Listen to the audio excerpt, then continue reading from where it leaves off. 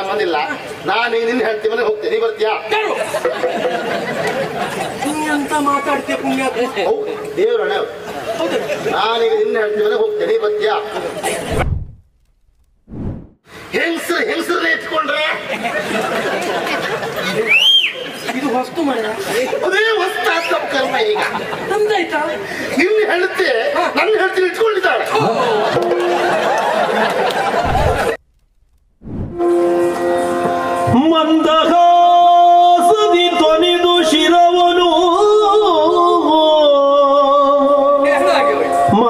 ಮಂದಹಾಸದಿ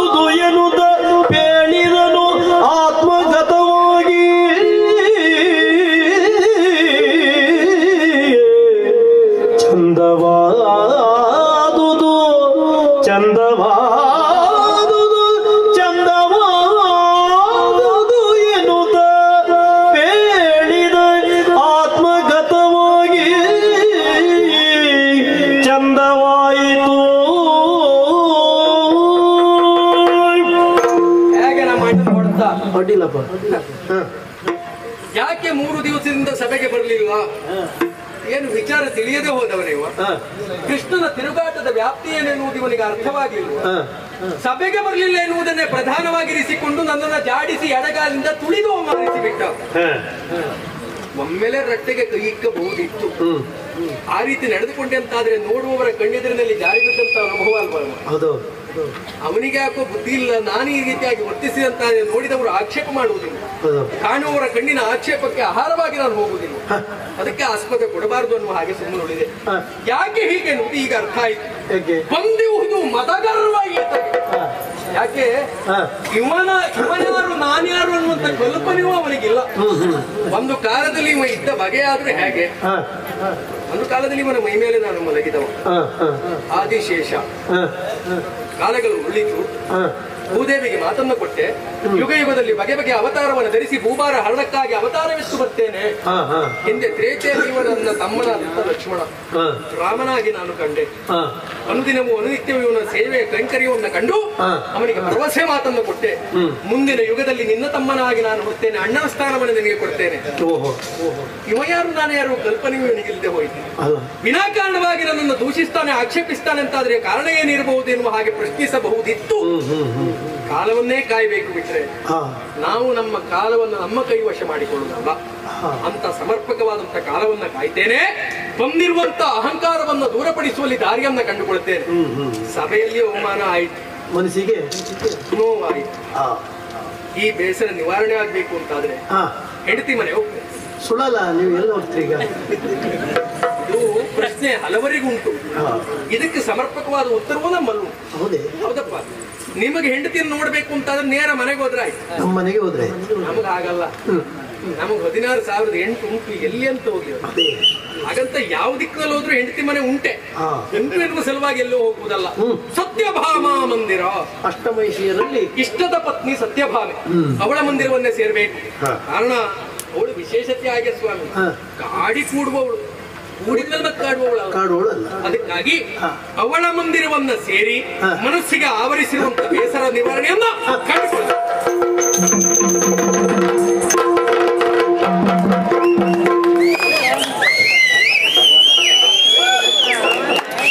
ಆ, ಎಲ್ಲಿ ಹೊರಟ್ಯಾ? ಗ್ರಾಚಾರ ನೋಡಿ ಮಂದಿರ? ಒಂದು ಗ್ರಾಚಾರ ಕಳೀತು ಅಂತ ಮತ್ತೇನೋ ಆಲೋಚನೆ ಮಾಡ್ತಾ ಹೊರಡ್ತಾ ಇರೋ ಸಂದರ್ಭ ಅಷ್ಟೊತ್ತಿಗೆ ಪದ?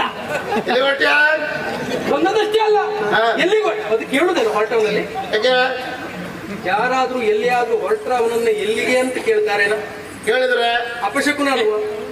ದಾರಿಯಲ್ಲಿ ಹೋಗ್ತಾ ಇರುವಾಗ ಮಧ್ಯದಲ್ಲಿ ನಾವು ಹೋಗ್ತಾ ಇರುವ ಸಂದರ್ಭ ಎಲ್ಲಿಯಾದ್ರೂ ಬೆಕ್ಕು ಬಂತು ಅಂತ ಅದ್ರದ್ದು ಅಪಶಕುನ ಅಲ್ವಾ ಅಂತ ನಾವು ಅಲ್ವಾ?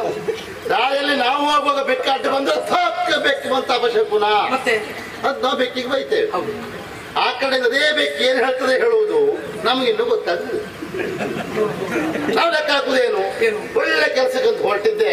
ಬೆಳಗ್ಗೆ ಬೆಳಿಗ್ಗೆ ಬೇಗ. ಬೆಕ್ಕ ಅಡ್ಡ ಬಂತು ದರಿದ್ರ. ಅದೇ ಬೆಕ್ಕಿನ ಹೇಳ್ತದೆ ಗೊತ್ತುಂಟಾ? ಬೆಳಗ್ಗೆ ಬೆಳಿಗ್ಗೆ ಆರ ಹುಡುಕ್ತಾ ಹೊರಟಿದ್ದೆ. ಈ ದರಿದ್ರ ಮನುಷ್ಯ ಅಡ್ಡ ಬಂದ್ಬಿಡ್ತಲ್ಲ. ಅದು ಹೇಳುದಿಲ್ಲಲ್ಲ ಅದಕ್ಕೆ ಭಾಷೆ ಬರೋದಿಲ್ಲ ನಮ್ದೆಲ್ಲ ಭಾಷೆ ಬರ್ತದೆ ನೋಡಿ ಏನ್ ಬೇಕಾದ್ರೆ ಹೇಳ್ಬೋದು ನಾವು. ಹಾಗೆ ಹಾ. ಹಾಗಲ್ಲ ಹೊರಟವನನ್ನು ಎಲ್ಲಿಗೆ ಹೊರಟು ಅಂತ ಕೇಳುದು ಶಿಷ್ಟಾಚಾರ ಅಲ್ಲ. ಅದ್ರ ಬದಲಾಗಿ ಎಲ್ಲಿ ಹೊಟ್ಟೆ ಈಗ? ಎಷ್ಟು ದೂರ ಅಂತ ಕೇಳುದು ದೂರ ಕೇಳೋದು ಎಲ್ಲಿ ಹೊಟ್ಟೆ ಏ, ನೀ ಎಲ್ಲಿ ಬೇಕಾದ್ರೆ ಹೋಗ್ ನಮ್ ನಂಗೆ ಸಂಬಂಧ ಇಲ್ಲ.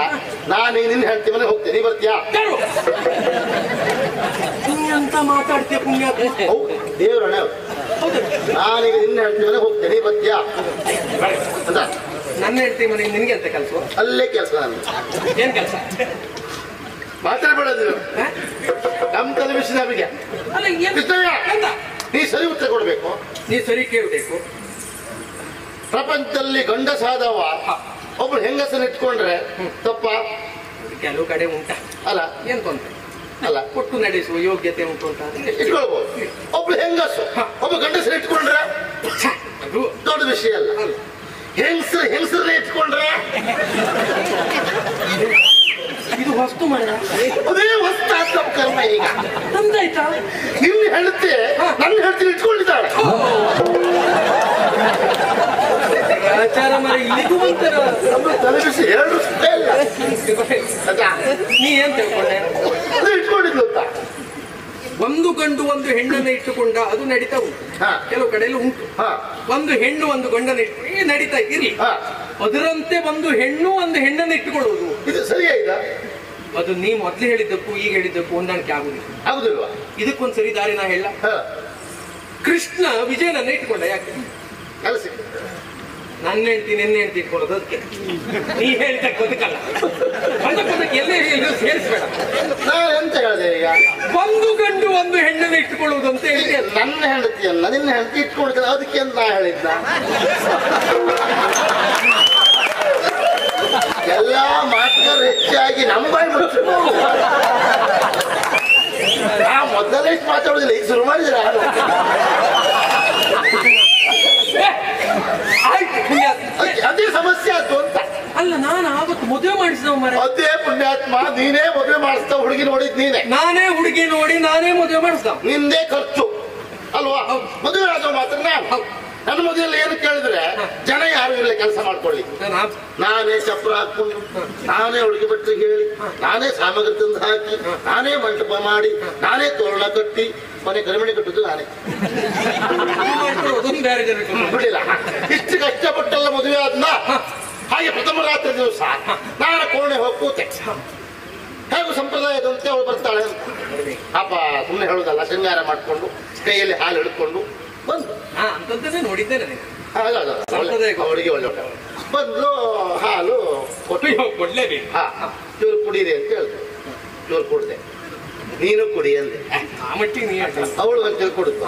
ಇನ್ನೂ ಸ್ವಲ್ಪ ಇತ್ತು ಕುಡಿದೆ ಅಂದೆ. ಈಗ ಬೇಡ ಕಡೆ ಬೇಕಾಗ್ತದೆ ಅಂದೆ ನೀನು ಒಮ್ಮೆಲೆ ಕುಡಿದಿರಿ ಇರುವುದಿಲ್ಲ ನನ್ನ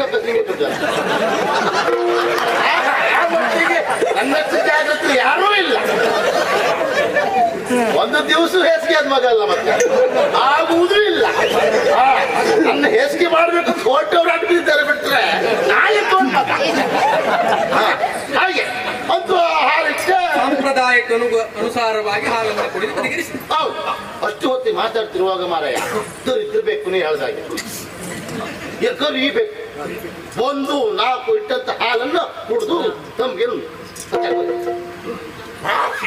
ಬರದೆ ಇಟ್ಟಿತ್ತೇನೋ? ಎತ್ತು ಏರಿ ಬಿಡುತ್ತನೆಯ ಮತ್ತೆ ಅಷ್ಟಾದ್ಮೇಲೆ ಮತ್ತೆ ಏರದೆ ಇರ್ತದ? ಬಿಡುತ್ತ ಅಲ್ಲೇ ಹಿಡ್ಕೊಂಡೆ ಬೆಕ್ಕಿನ ಬಾಲ ಪಟ ನೋಡ ಬೆಕ್ಕಿಯ ಪಟ ಪಟ ಪಟ ಇದನ್ನ ಕೊಂದ್ರೆ ಪಾಪವ. ಕಾಶಿಗೆ ಹೋಗ್ಬೇಕು. ಆಮೇಲೆ ಬೆಕ್ಕಿನ ಕೊಂದ್ರೆ ಹಿಂಗಾಗ್ತದೆ ಅಲ್ವಾ? ನಾ ಕತೆ ಕೇಳಿದ್ದೆ.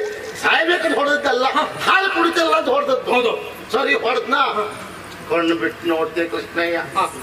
ಎಂತ ನೋಡುದ? ನಾ ಬೆಕ್ಕಿ ಹೊಡೆದಲ್ಲ ಮರಯ ಬೆಕ್ಕಿನ ಬಾಲ ಅಂತ ತಿಳ್ಕೊಂಡು ಹೆಂಡತಿ ಜನ ಹಿಡ್ಕೊಂಡು ಪಾಠ ಪಾಠ. ಇಷ್ಟ ನಿದ್ದೆ ಕಣ್ಣಲ್ಲಿ ಮರ ನನಗೆ ಮೊದ್ಲಿ ನಾನೇ ಅಲ್ಲಿ ಕೆಲಸ ಮಾಡ್ಕೊಂಡು ಮದುವೆ ಆಗಿ ಹೋದ್ನ? ಆಯಾಸ ಆಗಿತ್ತ? ಕೋಣೆ ಹೋದೊಂದು ಗೊತ್ತಾ? ಅಲ್ಲೇ ನಾವು ಅಯ್ಯ ಜೋರ್ ನಿಂತೆ ಇವಳು ಬಂದದ್ದು ಗೊತ್ತಿಲ್ಲ, ಏನೂ ಗೊತ್ತಿಲ್ಲ. ಇದೆಲ್ಲ ಕನಸಲ್ಲ ಆಯ್ತು ಬೇಕು ಬಂದದ್ದು. ಬೇಕು ಅಂತ ಹೋಳಿ ಪಡ್ದು ಆವತ್ ಮನೆ ಬಿಟ್ಟು ಹೋದಳು ಇವತ್ತು ಮನೆಗೆ ಎಲ್ಲಿದ್ದು ಅಂತ ಗೊತ್ತಾಗ್ಲಿಲ್ಲ. ಕಡೆ ವಿಷಯ ತಿಳಿಯುವಾಗ ನನ್ನ ಹೆಂಡತಿಯನ್ನು ನಿನ್ನ ವಿಷಯ. ಅಲ್ಲಿದ್ದಾಳೆ ಕೆಲಸಕ್ಕೆ ಇಟ್ಕೊಂಡಿದ್ದ ಸುದ್ದಿ ಬಂತು? ಹಾಗಾಗಿ ನಿನ್ನ ಹೆಂಡತಿ ನಾನು ಹೋಗ್ತಿದ್ದೆ ಈಗ. ನೀ ಬರ್ತೀನ ನೀ ಅಲ್ಲೇ ಅಂದ್ರೆ ಹೇಳಿಕ್ಕೆ ಆಗುದಿಲ್ಲ. ನಿಂಗೆ ಭಾಳ ಉಂಟು ನಮಗೆ ಒಂದೇ ಇರುವುದು ಸತ್ಯಭಾಮ ಮುಂದೆ ಹೊರಟ ಹೌದು. ಮನಸ್ಸಿಗೆ ಬೇಸರ. ನಾನು ನಿನಗೆ ಬೇಸರ ನನಗೇನಾಗಿರ್ಬೇಕು ಹೇಳು. ನಿನಗೆ ನೋವಾಗಿ ಅಲ್ವಾ? ಅದಕ್ಕಾಗಿ ತಡ ಮಾಡುವುದಲ್ಲ. ಆದಷ್ಟು ಬೇಗ ಸತ್ಯಭಾಮ ಮಂದಿರತ್ತ ಹೋಗ್ಬೇಕು. ಒಂದು ವಿಷಯ. ಏನೇ ಪ್ರಕರಣ ಆಗಿ. ಏನೇ ಹೋಗ್ಲಿ ಹಾ. ನನ್ನ ಮರ್ಯಾದೆಗೊಂದು ಕುತ್ತು ಬರದೆ ಹಂಗೆ ನೋಡ್ಕೊಳ್ಬೇಕು. ಅದನ್ನ ನೋಡ್ಕೊಳತ್ತ ನೀ ಹೆದ್ರಿ ಬೇಡ. ಹೋಗು ಬಾ